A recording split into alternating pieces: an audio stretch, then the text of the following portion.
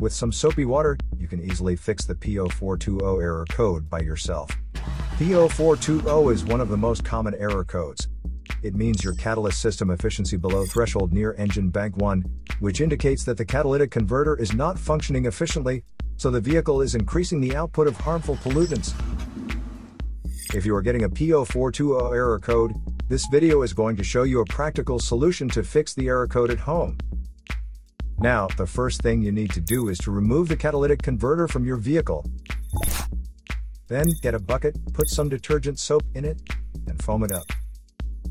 Put the catalytic converter into the solution, soak it up for 10 hours to remove all the crud that's inside of it. You can see by looking inside the converter, there are all kinds of little honeycomb shapes. They clog up really easy and cleaning will often make them open and work again. So here is a practical solution to fix the P0420 error code. To save more money on car expenses, claim a free engine code scanner by clicking the link here or at the description link below. You're also welcome to leave comments below, our mechanic professionals will answer them shortly. Don't forget to like and subscribe to our channel. Thanks again for watching this video.